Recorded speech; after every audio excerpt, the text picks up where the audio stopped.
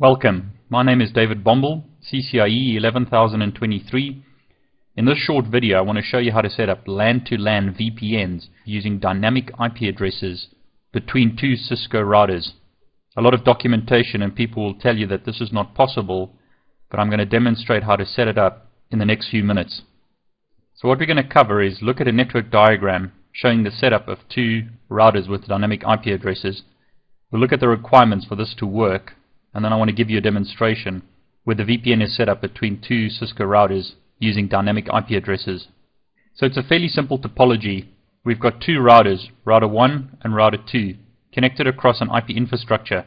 We're going to set up an IPsec VPN tunnel between router 1 and router 2, but both router 1 and router 2 will have dynamic IP addresses.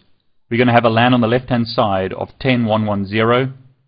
In the demonstration, I'll just represent this as a loopback on the router. And then on the right-hand side, we've got another subnet, 10120. So we're going to set up an IPsec VPN allowing traffic between these two subnets to be encrypted across an IPsec VPN. Now the requirements for this is firstly, you require two Cisco routers that support IPsec VPNs. So you've got to have the right routers with the right IOS. You need a DNS server or an online DNS server like dyndns.com, which the routers can dynamically update with their new IP addresses. And lastly, you need the VPN config generator, or you can configure the VPN manually. In this demonstration, I'm going to use the VPN config generator. So in the VPN config generator, I'm going to select router, router site-to-site -site VPNs. We're using IPsec, but in this case we're using IPsec and NAT with dynamic IP addresses on both sides. Our diagram once again looks as follows. We have router 1, we're going to encrypt this network 10110 going to this network 10120 which is the inside network on router 2. We are using fully qualified domain names for the routers, so r1.cisco.com and r2.cisco.com. We are using dynamic IP addresses, so notice no IP addresses are displayed in the diagram. Going to our setup, fully qualified domain name of router 1, fully qualified domain name of router 2. We've got the outside and inside interfaces. On our ISAKMP options, I'm just going to leave the password as the default, encryption as the default and so forth, but I'm going to change the lifetime to one hour. You could make this longer or shorter. I'm going to leave everything else as is. So not that many options here. I'm going to select OK to generate the configuration. As you can see here, we have an access list. This access list is used for interesting traffic between our two subnets. This is on router 1, so it's traffic going from 10110 to 10120. We've got a NAT access list. So we're saying the traffic between those two subnets must not be NATed, but all other traffic from our inside subnet will be NATed. We've got our ISAKMP policies. This is very important. We've specified the same key, firstly allowing any host to connect to us using that key, and allowing us to connect to R2 using the same key. We've got a dynamic crypto map configured. We are pointing to that dynamic crypto map. We've got a static crypto map configured for the same host, r2cisco.com.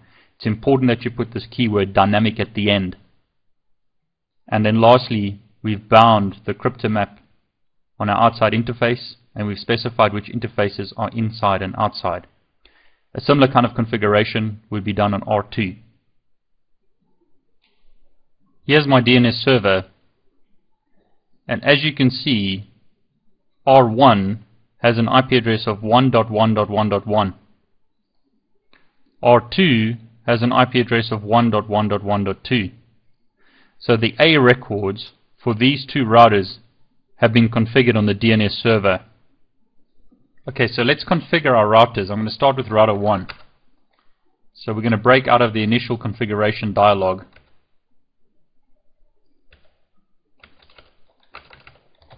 And then on fast ethernet 00, we're going to give it an IP address of 1.1.1.1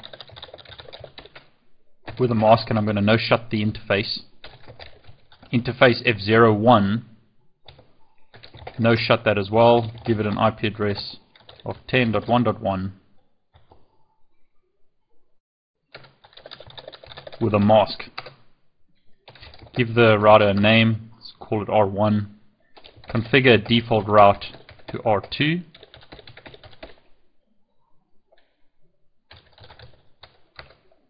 Specify the DNS server.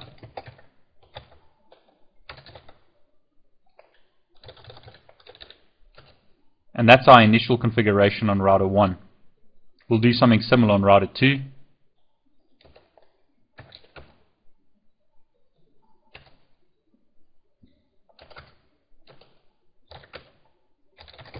So on Fast Ethernet 00, no shut it, given IP address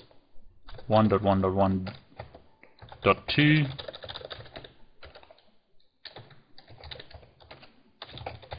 Do the same on F01.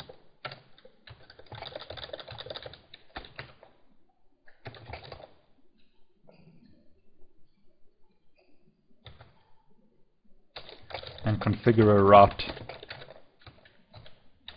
to R1. Give it a host name and then lastly specify the DNS server. So that's the basic configuration on the routers. So let's ping our DNS server from both routers.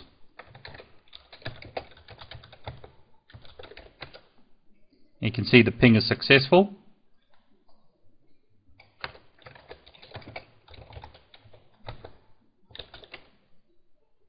Now let's see if we can ping the other router. So on router 1, I'm going to ping router 2.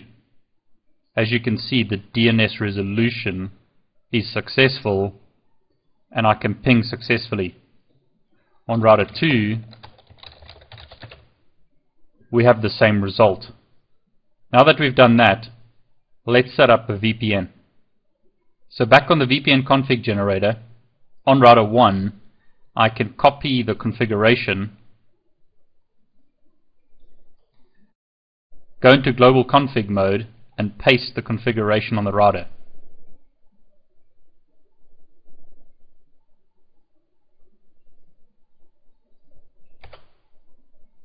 So that's the config for router 1. On router 2, I can do the same thing again. Copy the configuration, go onto the router, paste the configuration.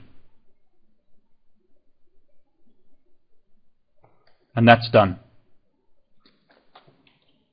So on router 1 as an example, let's see if we can ping the inside interface of router 2 from the inside interface of router 1.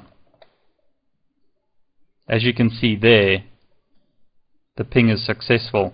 Show crypto ISAKMP SA shows us our security association and you can see that it looks good show crypto IPsec SA will show us the number of packets encrypted. In this case it's 9. Do that ping again. Show crypto IPsec SA shows us that the number of packets encrypted and decrypted has increased.